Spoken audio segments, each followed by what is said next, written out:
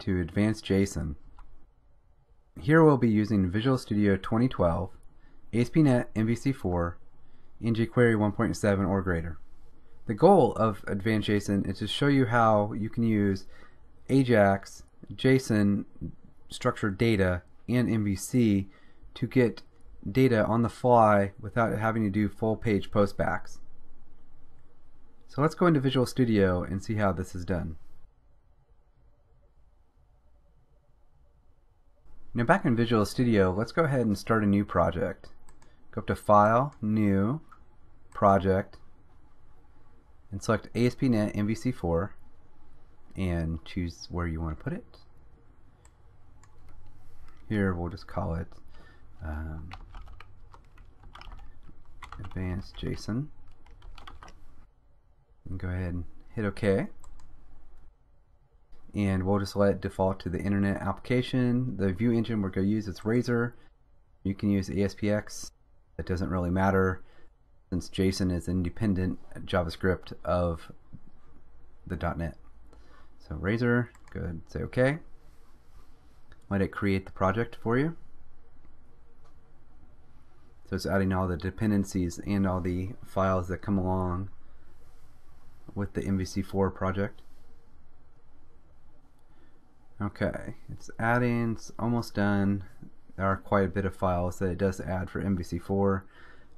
So the idea here is that once it's done, we're going to create a model class and then we're going to add to a controller and then we're going to add some of our JSON uh, get functions to a view. Okay? The first thing that it does is it opens up the home controller, which is filled in for you with some basic stuff for your index page, about, and contact. If you go ahead and hit Control F5 and run the site, you can see what it does and what it builds for you out of the box. So this is your standard MVC4 site that is given to you um, when you use the internet application part of the MVC4 template. So go back into your Visual Studio project and first thing that we're going to do is add a, a, model class for us. So expand models and you see the account model is already there. Right click on models and um, select add and choose new class and we'll go give the class a name of product model click add okay um, I'm just going to take out model after product model so it's actually product or public class product. So let's go ahead and define some of the member variables of our public class product. So public int product ID and do a get set. And public string name do a get set here as well and then lastly we'll do a public double. We'll say cost. Okay so that defines our class for our product. Next what we want to do is go into our index.html view. So go ahead and close models and we'll go into views home and double click on index.cshtml if you're using the Razor View Engine. And we're just going to remove all the stuff that's in our way. So remove everything except for the view bag title at top. And the first thing that we're going to do is assign a model to the page. So we're going to say at model then the name of your application. So here it's advanced JSON models product. So we're just telling our page um, what model that we're using for or with it. Uh, then going to define a field set. And the legend is going to be find product. And then we're just going to put in some of our variables. So at html.label, actually label for, and here we got m.product ID and at html dot text box for again we're going to do m m dot product ID found at that time. And then we're going to put a button in here. So button type equals button and ID of it we're just going to call it find and then for the name or the text of the button we're just going to say find product. And now we're going to put in some more members of our class. So we'll go do a label for m m dot name. And then again we're going to do html dot text box for m m dot name. And then we're going to do the last label it's going to be label for m m dot cost. Because we're going to show the cost here. Html text box for m m dot cost. Okay. And that should wrap up our field set. Now what we're going to do is define our JavaScript. So we're going to say section section scripts with the capital S. This will make sure that our JavaScript gets rendered after um, jQuery libraries and all their libraries get rendered out into the page so they'll be available. If you don't do this you will get uh, uh, a dollar sign is undefined uh, meaning for jQuery. Uh, so within here we're going to define our function that's going to contain our AJAX call uh, to go get the JSON against the home controller within MVC and we're also going to define our what our button does uh, up top, our button with the idea of find. So first, let's type our get product function. So this is what the function that will do a lookup, or call the lookup rather, to fill in our fields. So we're going to say var product equals open close curly brace then product dot product ID equals uh, dollar sign to quote pound product ID then val so I'll get the value of that. Uh, next we're going to do a dollar sign dot get JSON all uppercase call. And this is going to be to a controller method that we're going to make. I'm going to call it get product and then we'll go to a comma we're going to pass in the product model so we can pass in the ID or the product ID rather of that. And then we're going to do a product update or update product uh, JavaScript call that we're going to define uh, below.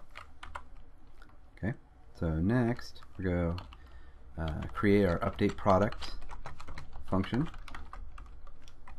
We'll pass in the data of that because that's going to be a data we're going to get back from our JSON call.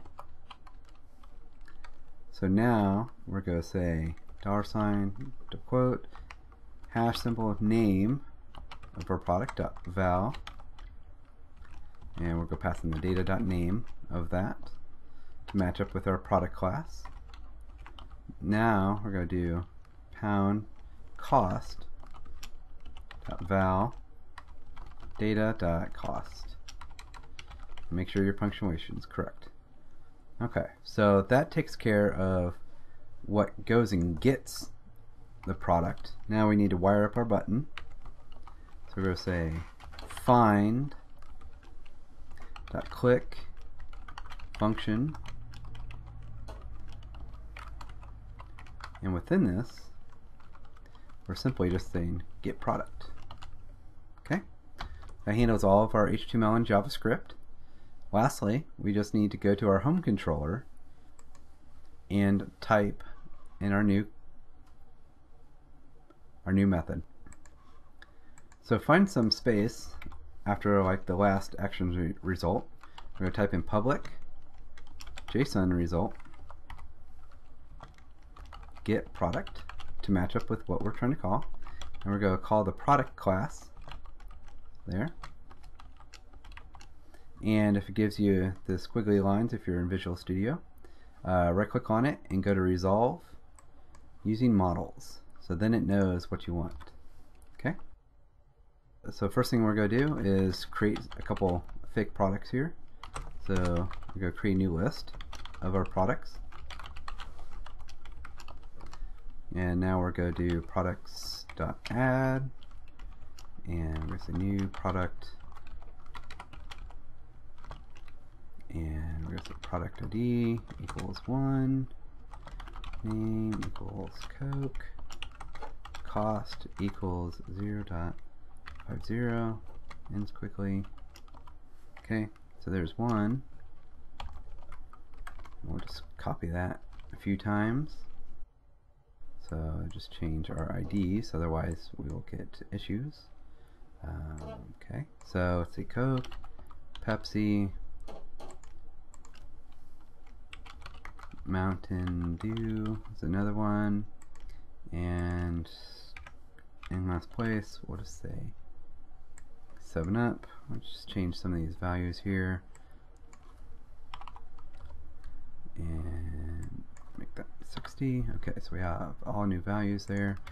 Okay, so we've got that loaded. Next, we need to do a lookup for our, product. So we're saying for our products dot single or default. Oops.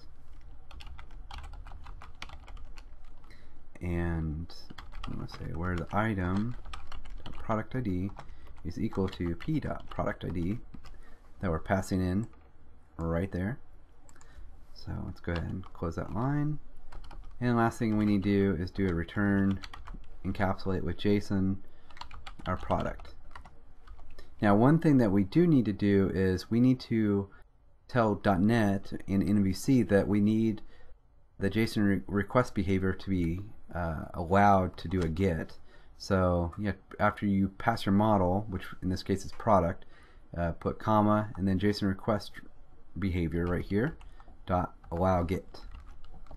This is kind of a security feature because if you don't do this, it's going to fail and it will give you the message saying you need to add this JSON request behavior allow get anyways. Okay.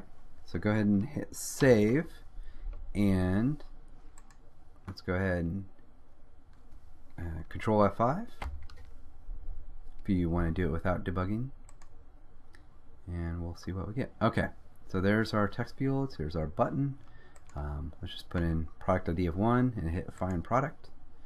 And there we have Coke for 50 cents. We put in 3, get Mountain Dew, get 2, that's Pepsi, and of course if we do 4 we have 7 up so what's going on behind the scenes let's go ahead and open up Firebug if you are using Firefox uh, or Chrome or others that support Firebug or something like that and let's go ahead and refresh the page so we can see what's going on behind the scenes so if, when I hit find product it shows that I'm doing a get against the get product method within the home controller. So let's expand this. And here you see our response is coming across as JSON uh, from what you learned earlier. Here's our double quotes that surround our member name. There's the double quote uh, that separates the name and the value, comma, because we have multiple values being across or pulled across uh, for per row if you want to see the JSON that is actually posted, here's the nice neat version, which is product ID, the name, and then the cost there.